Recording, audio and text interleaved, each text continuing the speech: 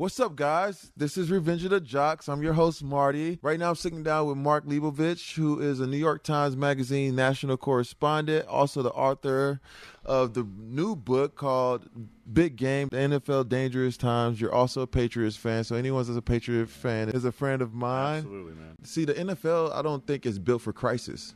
They just are very reactive. Like stuff hits them. Nike, Colin Kaepernick thing, classic example. The Yeah. league doesn't take a position. They try, then they kind of pull back.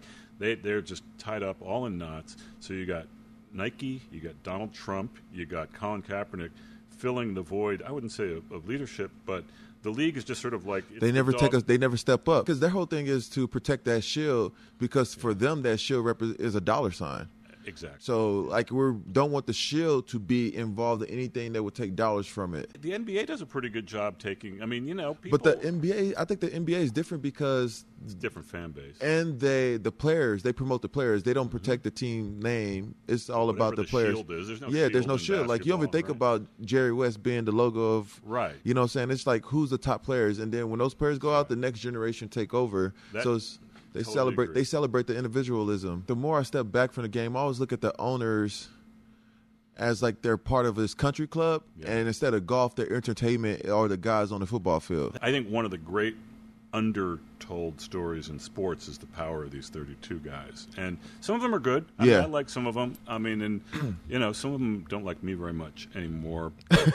um, I mean, you know, to me, of like that holy trilogy, I mean, I like Brady the best just because I, I just kind of like players better. I Yeah. just think that there's a more of an honesty around just using your bodies and sacrificing and also the intellectual approach. I mean, I think people underestimate how much like stuff you got to know. If I had to learn one of these playbooks, I mean, I would I'd, I would last 2 minutes. I mean, Oh, and every single team is a different language, yeah.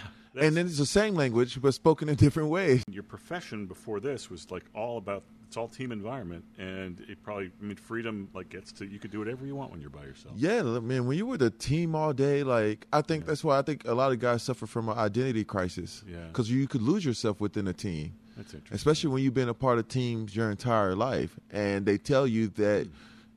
The team matters more than the individual How did you like explore like creative outlets when you were in that regimented world of like football? Uh, I think it took a long time for coaches to accept me mm-hmm. as a creative, mm-hmm. right? Because there's not a lot of room to create in the game. No. But I think they understand that as a person, I'm healthier Right. as a person when I'm allowed to create. Like I'm the happiest and the healthiest I ever been as an individual, mentally, mm-hmm. physically. Now, creating every day than I ever was when I was just playing. When I played with the like in the Patriots, like when I have my individual meetings with my coaches and we go through the mm-hmm. plays, I'll draw while we go through the plays. How did your creativity, you know, mesh with that world? I think that they understood what kind of person I was. And They, had, they did a lot of research on me before they brought me in. Right. And um, the thing about me, I've never been malicious. You know, I never did, like, i never been arrested, never been to jail. Only thing I like to do is I just like to make shit. And I like to speak my mind. So Right. I think what they understood, like, when I had my, my film, like, they showed my, Bill showed my animated film to the team on Family Day during training camp. Robert Kraft, I was like, hey, I got my new book coming out. Mm-hmm. You think we could roll it out in the Patriot store? So he's like, yeah, just talk to such and such. And they put my books in the Patriot store. So they were very supportive of me as a creative. Like, That's even, because people miss that about them. yeah, Like, so no one knows. They support the individuals. What do you think will happen if Colin wins his case now that it's going to trial? Well, first of all, it's gotten a lot farther than the owners thought it was going to get. Yeah, they, they- thought this was going to go away like two weeks ago, and the arbitrator was just going to say, "All right, there's nothing here." And so that decision surprised me. It surprised a lot of people at the league. I don't know if he's going to win that or not, but the fact that it's getting closer, I think, makes a lot of people an- anxious. But I also think it's going to bring some people out in public because they're going to have to testify. And a lot of these folks don't like going out in public to testify. There's a lot of guys who are afraid to say things even though they feel a certain way because if it happened to Kaepernick or it happened to Eric Reid, I'm barely hanging on. Green Bay had a lot of young players that'll come up to me and be like, I want to take a knee or I want to do this or Huh, is there somehow that I could participate? Mm-hmm. You know, you've been in the league for a really long time, Yeah. you know, 11 years or whatever. What'd you tell them? I said, I'm doing it so you don't have to. Like, if you want to raise your fist, if you want to do this, do it because you want to. But remember that the other guys doing it in a league Yeah. are doing it for you as well. You like used to raise your fist, right? What did you hear from fans? When you're the only person out there Mm-hmm. and and you raise your fist Everyone's staring at you. Everyone's looking at you. You could feel it on you. Like when I played in Green Bay, I would hear people say, "Nigger, you don't deserve to wear that jersey. You fucking suck. Like right? you don't belong in Green Bay." And they had people fans calling there, telling them to get rid of me because they didn't like the way I was as a It was person. bad, huh? It gets bad from the mm-hmm. DMs that you get from people threatening to kill you to Twitter. Twitter, I mean, Twitter thumbs are the worst thumbs there are possible in the world. But like when people say that, and then my wife is in the stands. Yeah.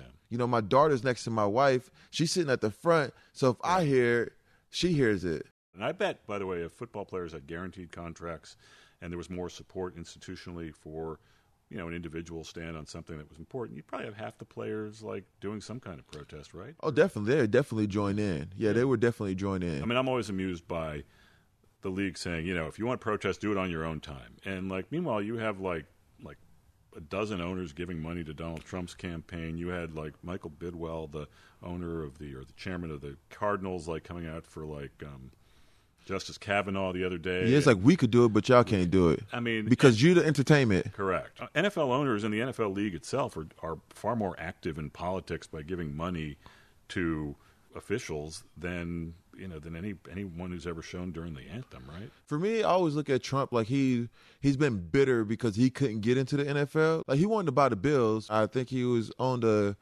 USFL team yeah, at one. the uh, New Jersey Generals in the '80s. He wanted to merge with the NFL. Yeah. he tried to buy a couple. He tried to buy the Patriots before Kraft got it. It was uh, so yeah, but no, I- he's been trying for years to get in. So now I feel like a lot of times he attack it because he couldn't get in it. Now I got more power than you guys. You, I couldn't get in your league, so I'm gonna make sure that your leg, league does not succeed without me. I, I think he loves the he loves being seen as like manipulating events, especially these you know these billionaires who wouldn't have him in their club, and and also.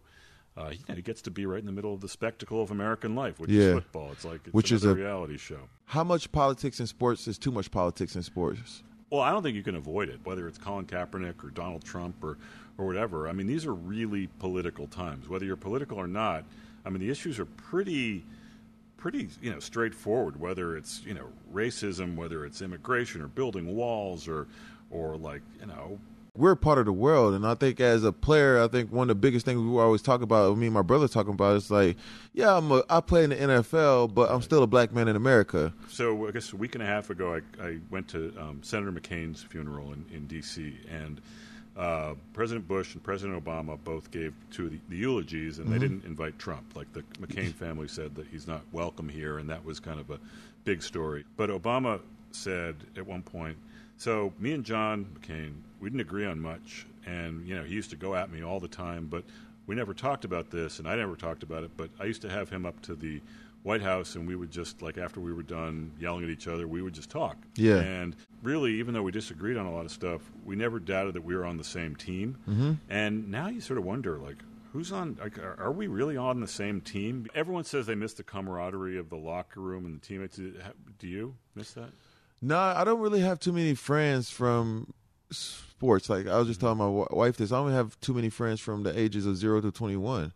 Wow. Um, like I like I don't have like childhood friends that are super. Like I have somebody I talk to from time to time, but I'm not mm-hmm. super close to them, like Right. or anything like that. And I don't, and it's hard for me to connect Right. because I wasn't a football guy. Some of my loneliest moments as a mm-hmm. person mm-hmm. were in the locker room. really? Yes. Because I felt like such an outsider where everyone else was connected on so many different things and I just couldn't connect with them. Right. Not like they're bad people. Like on the football field, we connected very well because we spoke the same language. Do you feel like the people you played with are, are going to like be well adjusted for life after they retire? No. Yeah. I think it's hard because I think there's a form of PTSD Yeah. when players leave, leave because you got to think everyone that's playing has been the top player their entire life. Right. So from a young kid, that becomes your identity. Right. Right. You known for how you perform in a sport. You take on that identity because it's Right. celebrated. Right. And when that's celebrated your entire life, and then you get to the top place where they celebrate it the most, Right. which is the NFL, and once people stop celebrating you, Yeah. it's like now what?